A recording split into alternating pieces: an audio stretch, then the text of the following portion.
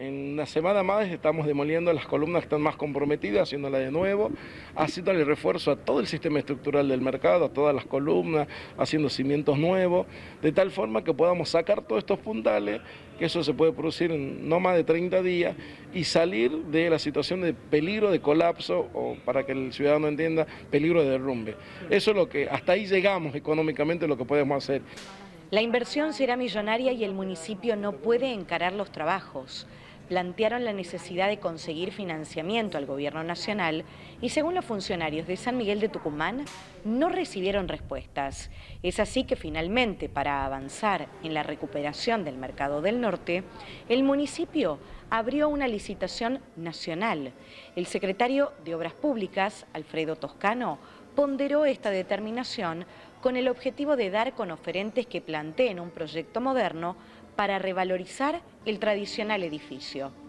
Habíamos comenzado una gestión con la Nación, con un proyecto que habíamos elaborado para pedir fondos, para recuperar el mercado y refuncionalizarlo y hacerlo mucho más moderno y confortable de acuerdo a la época, un edificio que tiene más de 80 años. Bueno, ya han pasado más de dos años, eh, dos años y un poco más, y no conseguimos respuesta de la Nación, no conseguimos el financiamiento. Nosotros la verdad es que con fondos propios es imposible encarar una obra de esta magnitud. Así que esta semana el intendente Germán Alfaro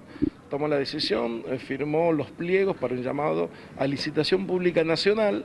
para la recuperación, revalorización y explotación del mercado del norte. Es un proceso que abrimos hoy con, con muchas esperanzas, con mucha expectativa.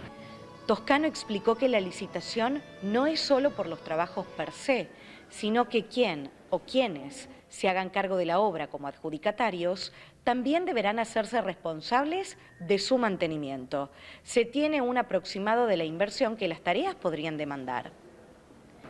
Siempre va a depender de los proyectos que nos presenten los oferentes, en esto no quiero aventurar eh, cosas hacia adelante, pero seguramente no estamos hablando de menos de 10 millones de dólares, una cifra que el municipio no puede afrontar pero que para nosotros, te repito, tiene mucha esperanza, abrimos con mucha expectativa, este es un mercado que puede generar 2.000 fuentes de trabajo directo, eh, gente que, trabaja en los locales comerciales, de mantenimiento, de seguridad, eh, nos genera esa expectativa. Y además lo que sí dejamos claro en el pliego, que eh, quien sea el oferente y quien sea adjudicatario en el futuro, quizás que sea pronto,